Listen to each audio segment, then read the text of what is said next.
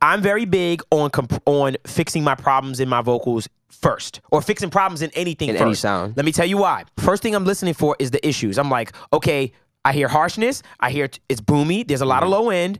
So what I'm gonna do is I'm gonna put a de-esser on that's gonna tame the harshness, that three kilohertz range. Let's tame that. Then I'm gonna put an EQ on to roll off the low end and take out some of the frequencies that I that I don't like. Mm-hmm. Then I'm going to compress. Why am I going to compress after? For me personally, when you compress a signal that has been EQ'd and I've taken out the bad, I'm only boosting The good that you've left. the good that I left there that I wanted. And then if I feel like something's missing, I can go after uh, an EQ and just add it. and add it back in. But I want the compressor to give me more of what I like.